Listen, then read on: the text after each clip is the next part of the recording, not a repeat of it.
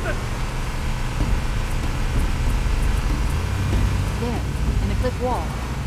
I'll bet the silent cartographer is somewhere inside that facility. Anyone else see what I see? Are we supposed to get around that.